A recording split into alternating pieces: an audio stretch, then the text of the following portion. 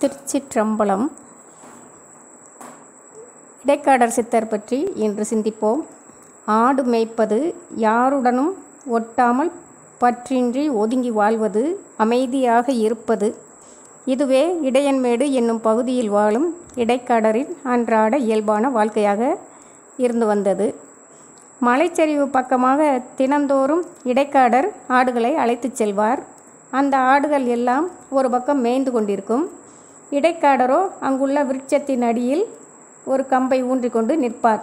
உடல் மட்டும்தான் நிற்கும். உயிரும் சிந்தையும் சிவனை தேடி பிரபஞ்சம் எங்கும் சுற்றி வரும்.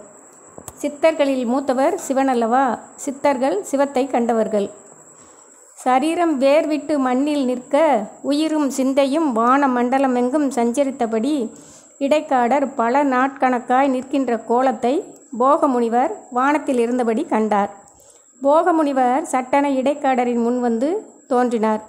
வந்தவர் மகாசித்தர் போகமுனிவர் என்பதை இடைக்காடர் அறியார். இருப்பினும் அவரை வணங்கி எழுந்து தற்பை புல்லை கீழே பரப்பி அதன் மீது போகரை அமரச் செய்தார். குட்டி ஈன்ற ஆட்டின் பாலை கறந்து கொண்டு வந்து சித்தரின் முன்னால் வைத்தார். சுவாமி தயை கூர்ந்து இந்த ஏழையின் உபசரிப்பை ஏற்றுக்கொள்ள வேண்டும் என்று வேண்டினார். சிலீரென்று இடைக்காடரின் அந்த விருந்தோம்பும் பண்பு போகமுனிவரை சிலிர்க்கச் செய்தது. இடைக்காடர் தந்த பாலை பரிவுடன் ஏற்றுக்கொண்ட போகமுனிவர் இடைக்காடரை அருட்பாவ பார்வையால் நனைத்தார். மைந்தா உன் தேகம் இங்கிருக்க உன் ஆத்மா வான மண்டலமெங்கும் சஞ்சரித்து திரிந்ததே யாருடன் உறவாடி கொண்டிருந்தாய்?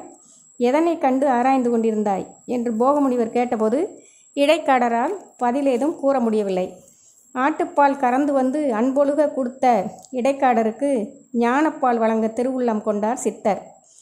போக சித்தரின் ஆகர்ஷண பார்வையில் தம்முள் ஞான ஒளிவெல்லாம் பாய்வதை உணர்ந்தார் இடைக்காடர். வைத்தியம் வாதம் போகம் ஞானம் வானசாஸ்திரம் யாவும் கைவரப்பெற்றார் ஏழையாக இருந்த போதிலும் எல்லோரையும் உபசரிப்பதில் வள்ளலாக திகழ்ந்த இடைக்காடரின் அன்பும் பண்பும் அறிவும் போக சித்தரை கவர்ந்தது. அவருடன் சில நாட்கள் அங்கேயே தங்கி இடைக்காடருக்கு பல்வேறு உபதேசங்களை அருளினார். இடையர் குலத்தில் பிறந்த இடைக்காடருக்கு போகர் அனைத்து சித்த நெறிகளையும் கற்பித்து விடைபெற்ற போது கண் கலங்கினார். இடைக்காடா நான் உன்னை விட்டு பிரியும் நேரம் வந்துவிட்டது. உன்னுள் வந்தடைந்த ஞானத்தை கொண்டு உலகை உய்விக்கும் வழிகளை கண்டறிந்து மக்களுக்கு அருள்வாயாக என்று போகமுனிவர் கூறியபடி மறைந்துவிட்டார். கண்ணெதிரில் தோன்றி கருத்துடன் நின்றவர் காணாது போய்விட்டாரே என்று ஒரு கணம் வருந்தி நின்றார் இடைக்காடர். குருநாதர் அருகில் இருப்பதை விட அவர் உபதேசித்த நற்செயல்களை மக்களுக்கு கொண்டு செல்வதுதான் அவருக்கு செய்யும் நன்றி கடனாகும் என்று கருதினார் இடைக்காடர். ஞானச்சித்தர் தன்னுள் பாய்ச்சிய ஞான ஒளியை அற்புதமான பாடல்களாக பாடித்திருந்தார்.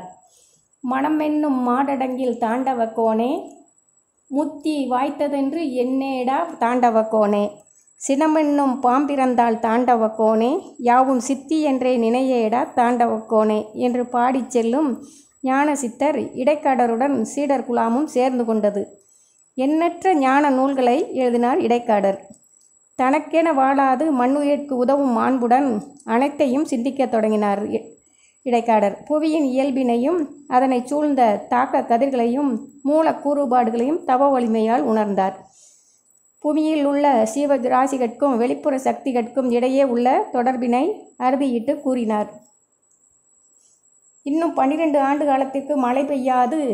கடும் பஞ்சமும் பட்டினியும் பரவி கிடக்கும் என்பதை உணர்ந்தார் முக்கால ஞானியாகிய இடைக்காடர். தமது ஆட்டு மந்தையை பார்த்தார். மறுபுறம் காடாக அடர்ந்து கிடந்த எருக்கஞ்செடிகளையும் பார்த்தார். எருக்கஞ்செடி பக்கமே திரும்பாத ஆடுகளை இடைக்காடர் தினமும் கொண்டு போய் நிறுத்தி அவற்றை உண்ணும்படி வற்புறுத்தினார். வேறு தாவரங்களை கண்ணில் காட்டாது எருக்கஞ்செடியை பிடுங்கி போட்டு ஆடுகளை தின்னும்படி ஒரு நிலையை தொடர்ந்து ஏற்படுத்தி வந்தார் இடைக்காடர். பார்ப்பவர்கள் எல்லாரும் இடைக்காடருக்கு பைத்தியம் பிடித்து விட்டது என்று இகழ்ந்தனர். பசும் புள்ளிருக்க விஷத்தன்முடைய எருக்கஞ்செடிகளை தமது ஆட்டுக்கு உணவாக்கி ஏன் பழக்குகிறார் என்பது யாருக்கும் புரியவில்லை. அது மட்டுமல்ல குறுந்தானியமான குறுவரகு கொண்டு வந்து மண்ணில் சேற்றோடு பிசைந்து ஆங்காங்கே மண் சுவர்கள் எழுப்பினார் குடிசை கட்டினார். இடைக்காடர் ஆளுடம் கழித்தபடி இன்னல் தரும் கடும் பஞ்சகாலம் வந்தது. மழையின்றி மரம் செடி கொடி யாவும் கருகின. பறவைகளும் விலங்குகளும் மனித ஜீவராசிகளும் கூட்டம் கூட்டமாய் மடிந்தன. பாவங்களை கணக்கின்றி விதைத்த மனித இனம் பாவத்தை அறுவடை செய்ய வேண்டிய தருணம். அழிவதை தவிர வேறு வழி இல்லை என்று கிரகாதிபதிகள் கருணையற்று வேடிக்கை பார்த்து கொண்டிருந்தனர். இவற்றையெல்லாம் தொலைநோக்கு பார்வையில் கணித்த இடைக்காடர் அதன் பொருட்டே எருக்கிளையை உண்பதற்கு தமது ஆடுகளை பழக்கியிருந்தார். எருக்கிளைக்கு மட்டும் எப்போதும் பஞ்சம் இருக்காதல்லவா? அவற்றையே தின்று பழகுவதால் விஷமே உணவாகிவிடும் ஆடுகளும். பஞ்சகாலத்தில் உயிர் வாழும். ஆனால் எருக்கிளை தின்னும் ஆடுகளின் உடலில் தினமும் அரிப்பு ஏற்படும். அவை தம் உடல் அரிப்பை நீக்கிக் கொள்வதற்காக அந்த மண் சுவரில் உடம்பை தேய்க்கும். அப்போது சுவரில் ஒட்டியிருக்கும் குருவரகு தானியம் உதிரும். பஞ்சகாலத்தில் அவற்றை கஞ்சியாக்கி உண்டு உயிர் பிழைக்கலாம்.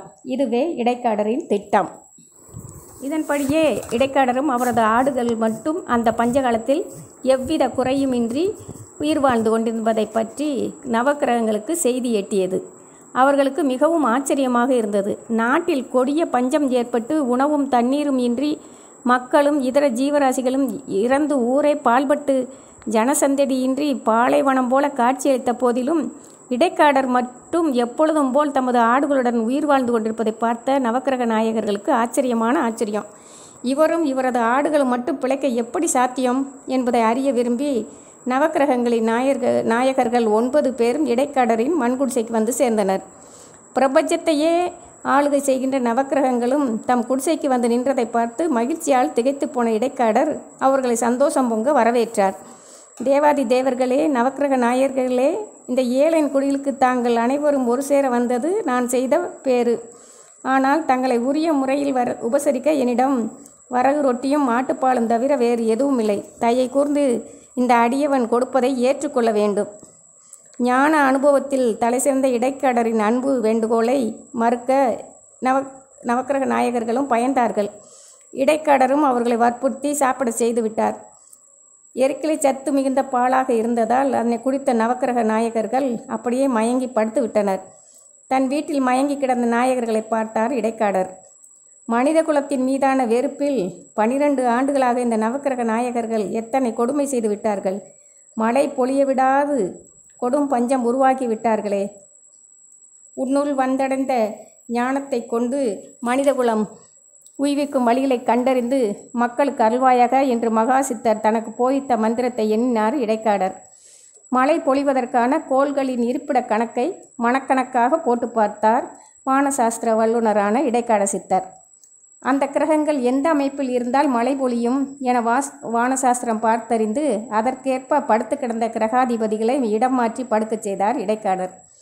அந்த சனமே ஆகாயத்தில் கருத்த மேகங்கள் கூடி மின்னலும் இடியுமாக மழை பொழிந்தது. குளங்களும் ஆறுகளும் நிரம்பி வழிந்தன.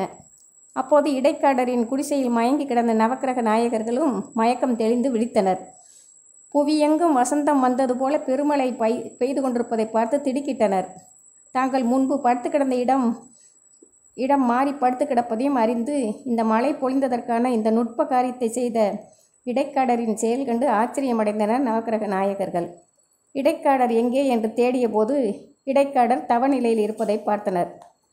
காலத்தின் தத்துவம் அறிந்த தவஞானி இவர் மாறுபட்டிருந்த நம்மை நாட்டு மக்கள் நலன் கருதி மழை பெய்வதற்காக மாறுபடுத்தி வைத்த மகா சித்த புருஷர் இவர் நொடிப்பொழுதில் இந்த சித்த நிகழ்த்திய அற்புதத்துக்கும் நுண்ணறிவுக்கும் ஈரேழு புவனமும் இவரை பாராட்டும் என்று கூறிவிட்டு நவக்கிரக நாயகர்கள் மறைந்துவிட்டனர் இ- இடைக்காடர் சித்தரின் இத்தகைய நுண்ணறிவால் மாண்டவர் போக மீதி இருந்தவர்கள் உயிர் பிழைத்தனர். யமனிடம் சென்று தங்களெல்லாம் மீட்டு கொணர்ந்த இடைக்காடரை பெரும் சித்தர் என்றும் தெய்வம் என்றும் உவகை பொங்க யாவரும் போற்றி புகழ்ந்தனர். உலகம் செழிக்க இத்தகைய மை மெய் செழிக்கச் செய்யும் காரியமாற்றிய இடைக்காடரின் புகழ் திசையெட்டும் பரவியது. சீடர்களே உங்களது வாழ்த்தொழி என்னை மகிழ்விக்கவில்லை. மாறாக மனதை வேதனைக்கு உள்ளாக்குகிறது இனியாவது திருந்தி வாழ பழகுங்கள். எவரையும் இகழாதீர்கள். புறங்கூறாதீர்கள். பொய் பேசாதீர்கள். இறைவனை மறக்காதீர்கள். ஏழைகளுக்கு இறங்குங்கள் கருமேகம் தானாக இறங்கி மழை பொழியும் என்று உபதேசம் செய்தார் இடைக்காடர். நன்றி வணக்கம். இந்த கதை பிடித்திருந்தால் சப்ஸ்கிரைப் பண்ணும்போது கேட்டுக்கொள்கிறேன்.